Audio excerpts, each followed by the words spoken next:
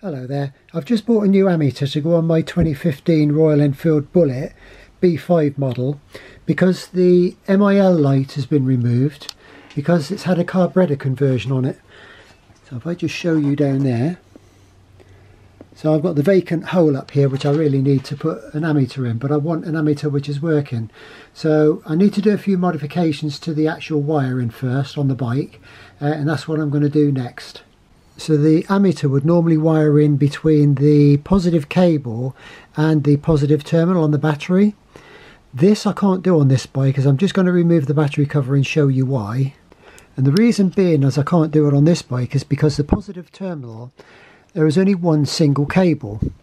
Now normally you get two cables, you get a thick one which goes to the main starter and a thin one which goes off to the rest of the electrical power system.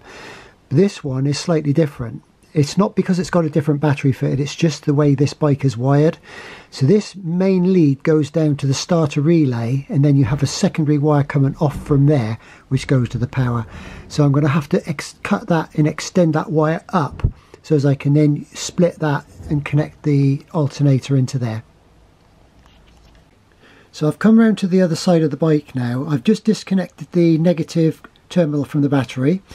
Now this plate I'm not sure if it's actually this black plate which I'm shining the torch on. I'm not sure if that's standard fitment or not because of the modification on this bike but I need an 8mm and a 10mm socket just to remove those two bolts and remove that plate so as I can access the wire behind and that's what I'm going to do next.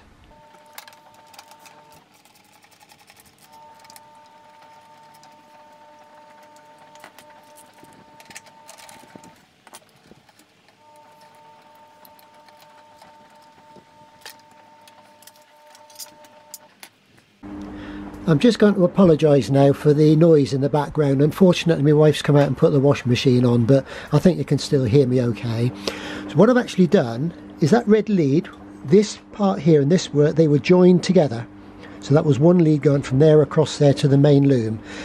I actually cut it in half and I've soldered two extension leads on, two completely separate leads, and I've extended it so as I can have it up here, easily accessible. What I did is I soldered on. You can't see them here because I've got them taped with uh, they're insulated anyway but I put some extra tape round.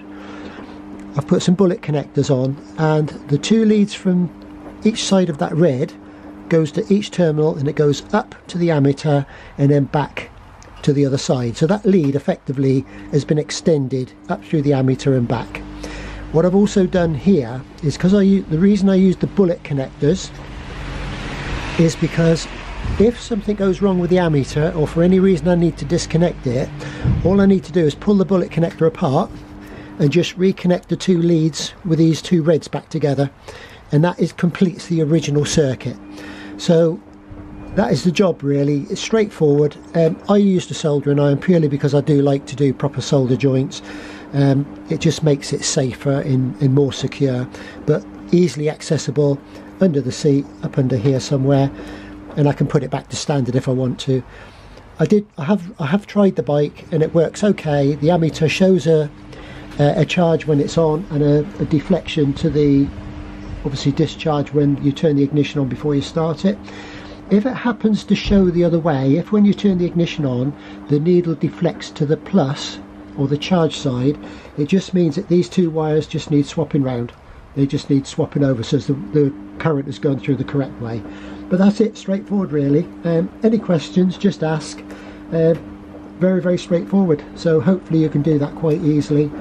And I'm just going to put it all back together now. So um, that's it done. Okay so there's the finished product. If I turn the ignition on you'll notice a slight deflection into the red zone not very far. But if I put the lights on it deflects over into that So when you start it up, that should then go back into the green. That shows that it's charging. If it goes over to the green side when you just turn the ignition on, then the two wires, as I explained earlier, you just need to swap them round and it will show the red rather than the green. But it should go into the green when you start it up. So thank you for watching uh, and I'll see you in a, a future video somewhere. Bye.